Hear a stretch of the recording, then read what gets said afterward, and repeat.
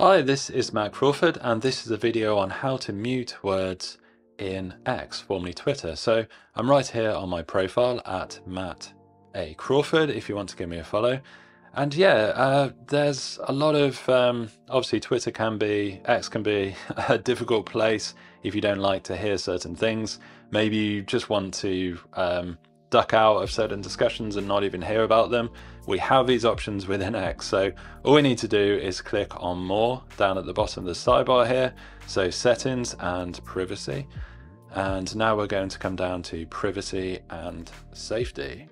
And we have this option here for mute and block uh, and Twitter uh, X says manage the accounts, words and notifications you want muted or blocked. So we're going to click on that one and we're going to click on muted words. And I've got four here uh, just for uh, giggles. I've got Putin, SJW, fake news, and Trump. So I have these set to block forever because why not?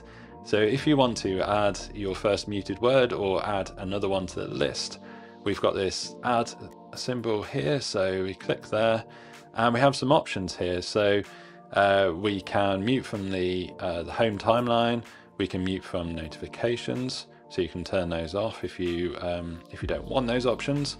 Uh, we can mute from either anyone or just people uh, that we don't follow. So I'm going to go for anyone on there uh, until you unmute the word. So duration wise, we've got 24 hours, 7 days, 30 days, and until you unmute the word. So that one is essentially forever uh, based on the ones that I showed you at the front there. So maybe uh, maybe there's a trending topic that you find really annoying. Maybe you want to uh, take that off for a month or seven days. Uh, but I think for most cases, if it's uh, something you just don't want to see, it's you know something that's going to make you procrastinate. Uh, you might just want to do this for forever. So right at the top, all important, we're going to enter the word. So what shall we um, what should we do?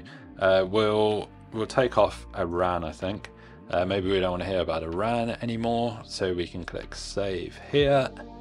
And Iran has been added to my I don't want to see politics on my X uh, feed little section on muted words here. So that was a super simple, straightforward video on how to mute words in X. Hopefully that was helpful.